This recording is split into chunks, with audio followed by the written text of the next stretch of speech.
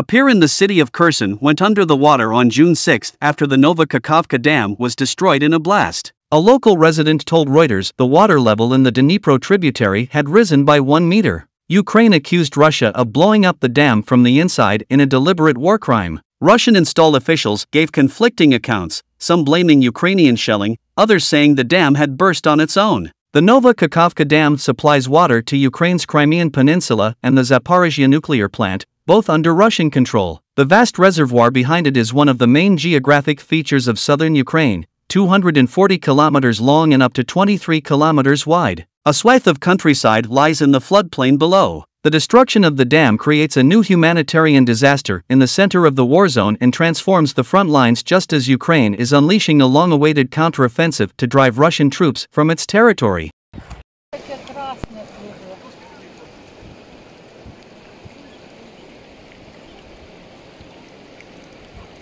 Хатка якась. Да?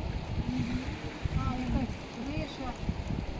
А, знаєш що? Грибок чий-то. Альтанка чи якось з димарем. Грибок чи ти Так, так. то грибок із, із, Короче, крыша поплыла от беседки беседки.